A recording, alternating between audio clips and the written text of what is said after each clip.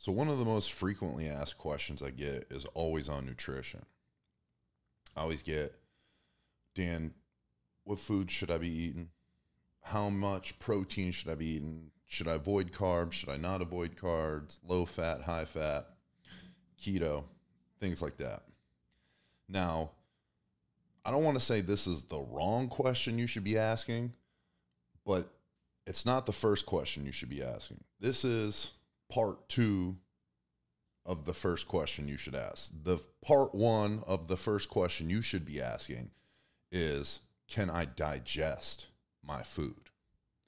And there's a saying, you are what you eat. Well, that's that's kind of a lie because it's not you're not what you you eat, you are what you can absorb. You are what you can digest, the nutrients you can uptake.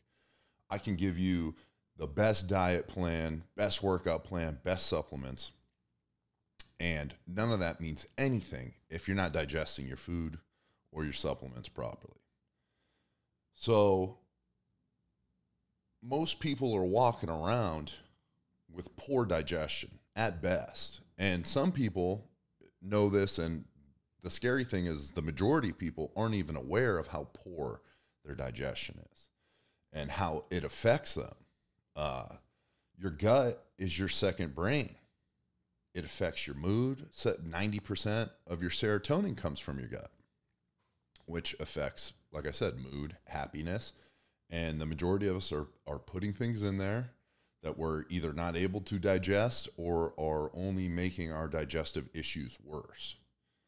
Uh, the reason why this was kind of on my mind to bring up is you know one people are always kind of asking me a lot of questions on the topic. And two just recently as in this morning one of my good buddies hit me up and uh, he is having digestive issues. So he kind of he shot me a message and we've kind of been going back and forth on, on what is going on with him. And he told me he's like dude i am he was like i wake up in the morning i feel bloated feel fat. I feel like I just had a monster cheat meal the night before and I'm waking up and I'm feeling terrible. And, you know, this guy is an elite level athlete, performer. He's got an amazing physique. He's a great athlete.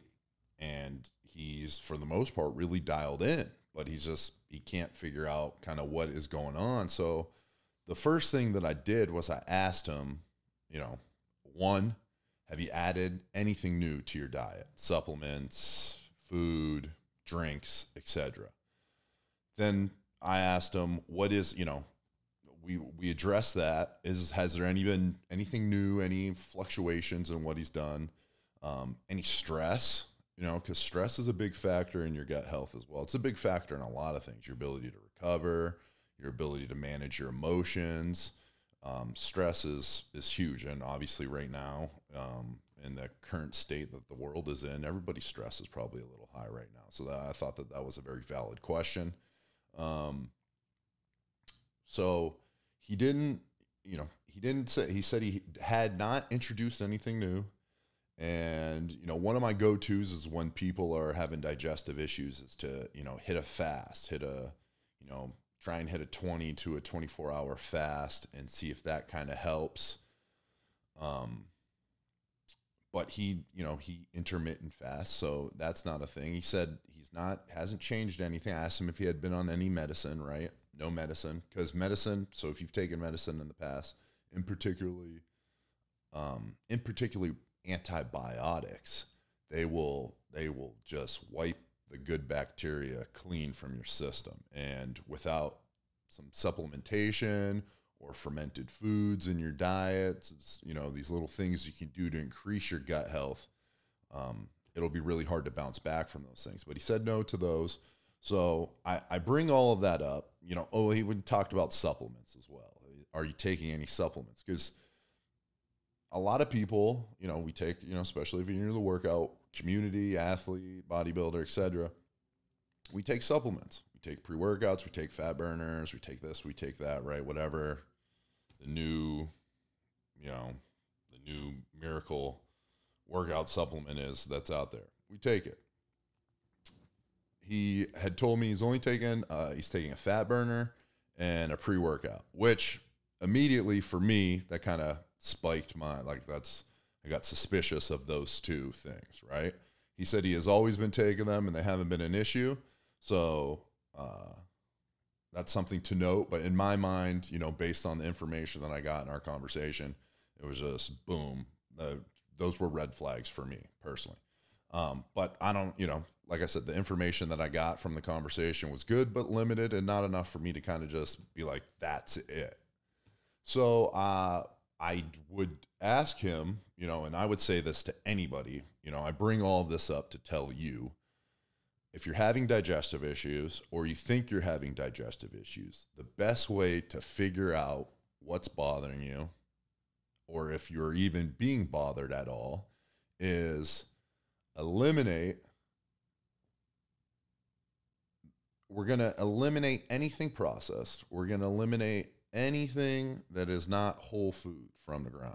Okay, we're going to get rid of drinks, anything that's not water, water, tea, coffee, um, anything that, like I said, that's processed, it's got to go.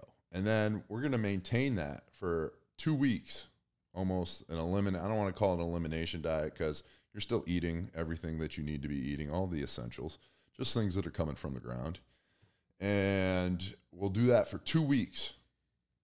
And then if you start getting back on track, start feeling better, then we're to, you know, we'll add whatever the non whole food products in your life, you know, say you like a protein bar, you like protein chips, whatever the the non whole food little supplementations that you add into your everyday diet, or we'll add one of those back in. And we'll repeat that process of 2 weeks. And after that 2 weeks if there's no problem, then you know that food it, you know, you guys jive well. And so that's not an issue. And then you can add something else then a supplement or whatever. And in that process over x amount of time you will start being able to figure out what works best for your body. Um, another thing we could also do and i'm a big proponent of this is probiotics. Now do not confuse probiotics with digestive enzymes. A digestive enzyme is just that. It's a digestive enzyme it's an enzyme that helps you break down either proteins, fats, or lipids. Or proteins, fats, or carbohydrates. Lipids and fats are the same thing. Uh, and which aren't bad. They're good. They have their place, but they are not a probiotic. A probiotic is, uh, you know, it is a supplement that has a multitude of strands of good bacteria. And you want to take those in because they're going to help cultivate the good bacteria in your microbiome. Now, that is not something that you need to take every day. I personally like to take it once every other day. And some people take it once every three days. One, the reason behind that one, you get more bang for your buck. And two, most importantly, you don't need to always be flooding yourself with those good bacteria, you know, like one day, you know, supplementation of this probiotic uh, is good for one, you know, one to two days at a time, and then you implement another one, right? And that will allow you to kind of cultivate the the good bacteria in your gut, which is what you want. And it's going to help you digest food better. It's going to help your body produce serotonin better. It's going to improve your overall mood. You'll have better bowel movements. That's another indicator is bowel movements, regular bowel movements right? That's another thing you can kind of use to figure out whether or not your digestion is on point.